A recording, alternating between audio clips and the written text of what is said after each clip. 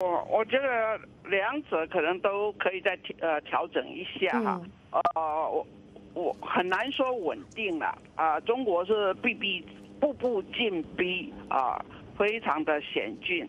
但是我想也不至于到地动天摇。嗯，我们可以知道台湾是一个非常自由多元的社会，啊，就是有强烈反中国的，但是也也有啊赤裸裸在拥抱中国的，那还有绝大多数人还是中间分子，所谓维持现状。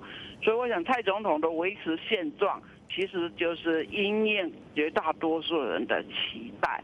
那现在比较这个中国所谓有三十一项让利，特别对年轻人求学、就业等等，那谁都看得出来，他是刻意在用这种方式，一方面把台湾的优秀人才啊强力的吸收过去，另外呢，他一定到了中国以后，你必须要遵照他的，你不可以讲台湾。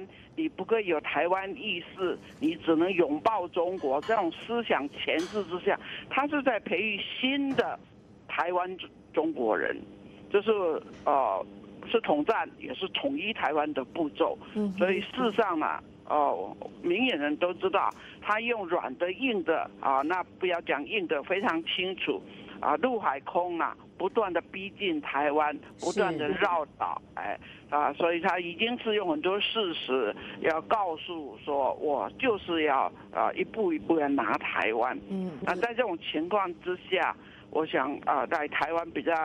过度的民主，所以呢，啊，这个公然亲中啊反台的人士在台北也一样获得啊宪法的保障，这就是台湾的价值。当然，也是我们要为自由付出一点代价。